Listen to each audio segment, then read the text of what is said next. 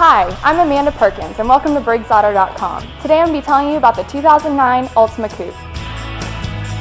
Starting from the front, we have the 2.5 liter 16 valve four cylinder engine. It has 175 horsepower and 180 pound torque. It also comes with a continuously variable transmission. It also has a fuel injection system and a rear suspension, power rack and pinion steering, front and rear stabilizer bars and anti-lock braking system. As we go around the side, there's 16-inch steel wheels with full wheel covers. It also has all-season tires, halogen headlights, and splash guards. As we come around the back, we notice dual chrome tipped exhaust finishers.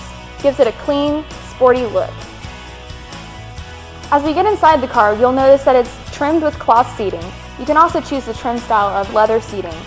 It also has reclining front bucket seats.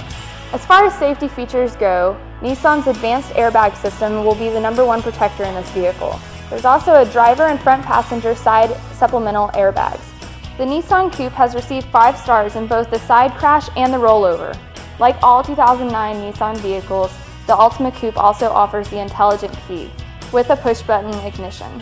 It's also standard with an audio system with 6 speakers, an auxiliary auto input jack, tilt and telescopic steering column, windshield wipers with mist function, rear window defrosters, and side window demisters. There's a lot more I could tell you about the Altima Coupe, so come in and see me, Amanda Perkins, at BriggsNissan.com.